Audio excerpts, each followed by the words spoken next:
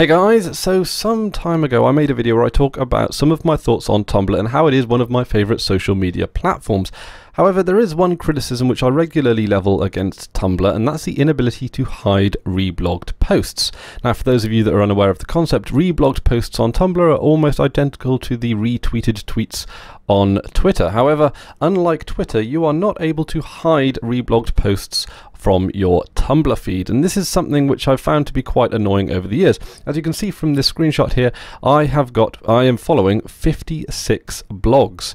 And um, most of those blogs retweet more than they create original content. Now, I very much enjoy following a lot of the blogs that I do follow, but it is kind of annoying when your Tumblr feed is cluttered up with reblogs from blogs that you wouldn't generally follow anyway. I mean, if I wanted to follow the blogs that people were retweeting, I'd follow the blogs directly. And I do feel that Tumblr as a social media platform is fantastic at creating a platform that is uh, friendly for creators and uh, collaborators and the like, but yeah, it can very easily be buried under a lot of retweeted content, which is, you know, something that I'm not particularly interested in. If I follow your blog, I'm following it because I want to follow your blog, not the blogs that you follow. So for some time, I didn't actually believe that it was possible to hide reblogged content on Tumblr. I even had a look for a fair number of extensions, including the infamous Missing E, but uh, no such luck. But I did decide to have another poke around the old interwebs recently, and I have found something which I'm sure you guys might enjoy taking a gander at. It's called XKit.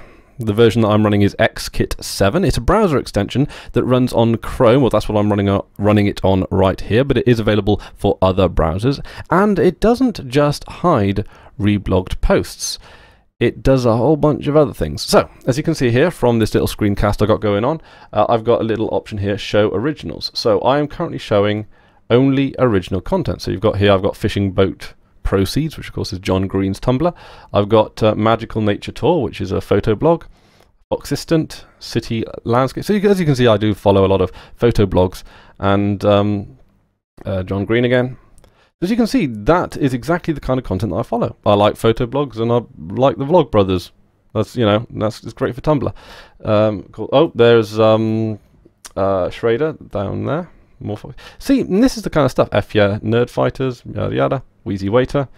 And I can see all of the blogs that I follow there and then without having to uh, just wade my way through stuff that other people are following that they think is interesting. If they think it's interesting, that's great, but we don't need to share every little thing that we find mildly amusing on the internet, which I think Tumblr is a little bit guilty of. And it would be nice if this was, of course, built into the Tumblr infrastructure, but Tumblr, being a very open platform and very open to collaboration, has actually made it very easy for people to um, to build browser extensions that can actually improve the interface and that's actually fantastic. Uh, that's one of the reasons why I like Tumblr and Twitter as well is because both of those social media platforms allow people to actually modify the interface through browser extensions so anyway, let's take a look at the website. I've got the uh, the website here. It's free to download. I believe it's um, the term they use is donationware. So if you feel that these guys are doing a good job, then it's definitely worth uh, throwing a few quid their way. But there are a lot of things that you can actually do, not just hide reblogged posts with this particular add-on. 40 plus in one. So you can reblog yourself. So if you uh, create some particularly uh, interesting content um, that you would actually like to put to the top of your Tumblr blog once again, um, then that's a pretty pretty useful function. Blacklist words, again, that can be very useful, particularly if you're easily triggered. Um, you can shorten long posts, although that is already in there, I believe. Um, you can even automatically scroll your dashboard with more than uh, yeah.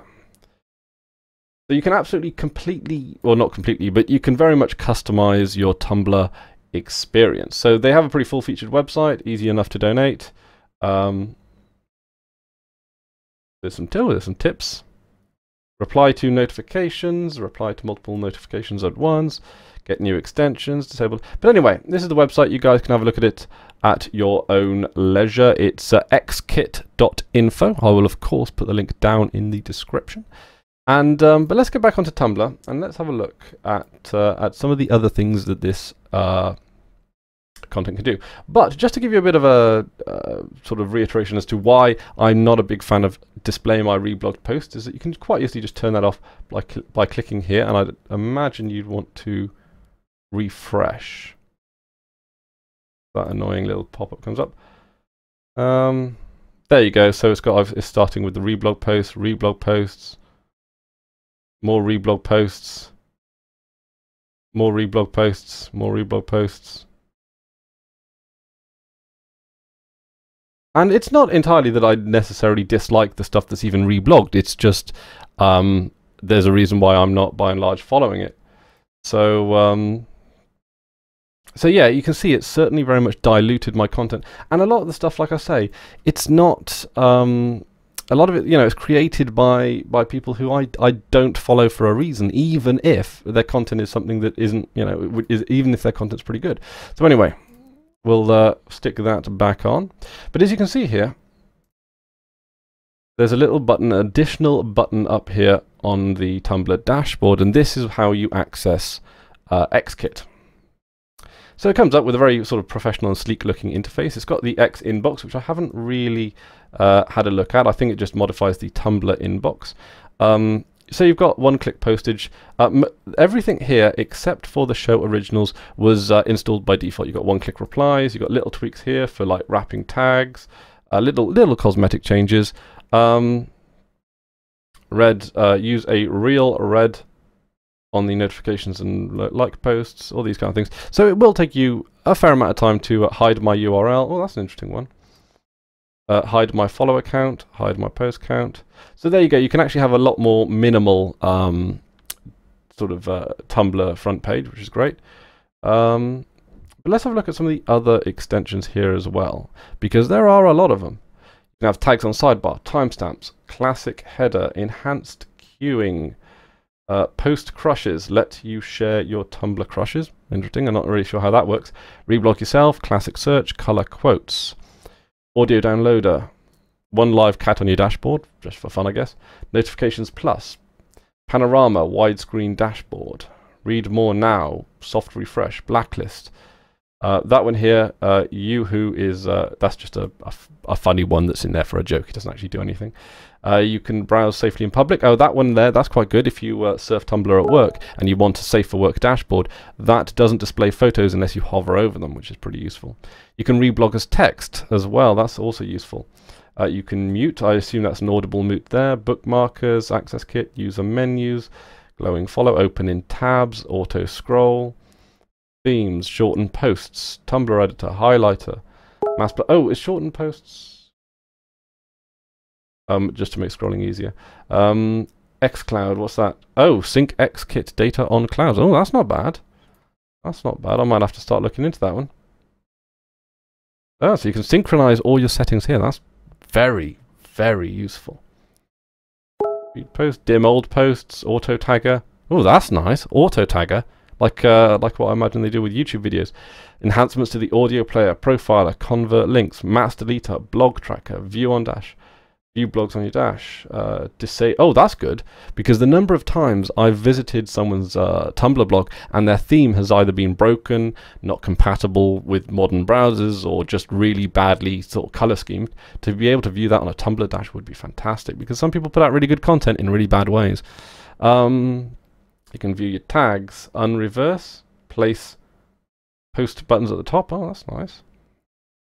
There is a lot here, and I've only scratched the surface in my personal test here, but this is something that I really wanted to shout from the rooftops because these guys have put a lot of work into this particular browser extension, and there is a lot of good coming out of it. I will almost certainly be having a good solid look through uh, after I finish recording this video, but like I said, I kind of wanted to shout this one from the rooftops because it certainly deserves it.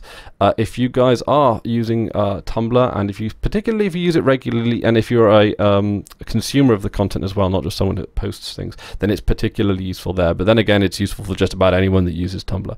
Um, and uh, yeah, free to download, available on uh, multiple browsers, I'm quite sure. I will just um, uh, confirm that. Chrome, Firefox, Safari. There's also an FAQ. You have to disable other browsers, uh, other um, uh, Tumblr extensions as well, or at least it's not supported with other Tumblr extensions. I guess you can kind of see why that is, considering that it's so expansive and uh, conflicting browser extensions might tread on each other's toes, but there you go. So some of the uh, yeah some of the the FAQs here are browser specific as well. That's pretty useful. They've actually put a lot of thought into this website. There is a lot of uh, there's a lot of lot of talent on display here, and I've got to got to really big it up for these guys.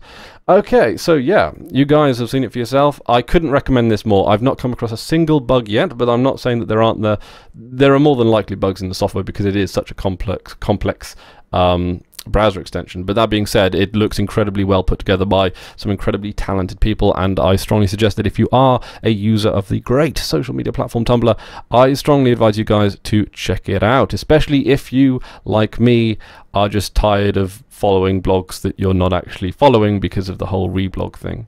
It would be nice if Tumblr put a lot of these inside the uh, the website itself. But then again, um, you've got to give kudos to Tumblr for actually making their uh, social media platform customizable the way that it is. Because maybe you might not be an XKit person. Maybe you might like Missing E better. Although, admittedly, having used Missing E and having used this, this is infinitely better than Missing E.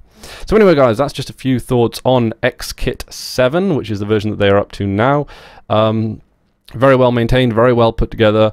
Um, and if you guys can afford it, I'd recommend you donate if you get some use out of it.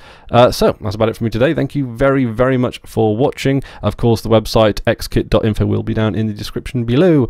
And uh, until next time, I've been Chris Ware, and you have been awesome. Take care now.